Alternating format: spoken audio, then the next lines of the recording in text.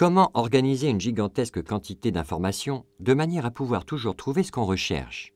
On peut par exemple inclure une référence dans un texte comme une note de bas de page qui vous renvoie à un autre document.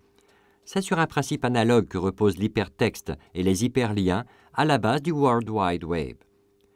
Le concept d'hypertexte a été élaboré dans les années 60 aux États-Unis par Ted Nelson et Douglas Engelbart à partir d'une proposition formulée à l'origine par Vannevar Bush en 1945.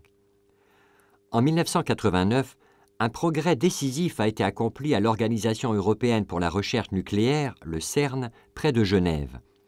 Le scientifique britannique Tim Berners-Lee a proposé un système hypertexte distribué, appelé au départ MESH, et conçu pour faciliter l'accès du personnel du CERN à la foule de documents en ligne utilisés par le centre.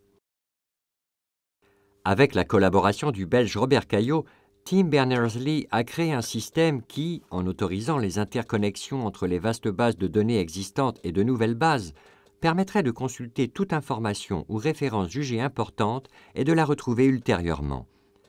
Selon lui, il fallait que le résultat soit d'utilisation conviviale et que les informations contenues dépassent un seuil critique, de sorte que l'utilité du projet en encourage l'utilisation croissante. Et c'est exactement ce qui a fait l'expansion du World Wide Web, non seulement au CERN, mais sur toute la planète. Le logiciel, ainsi que les descriptions du langage HTML et du protocole HTTP et l'utilisation des URL, a été développé en 1990 et le premier site web contenant des informations sur le système a été rendu accessible au public en 1991.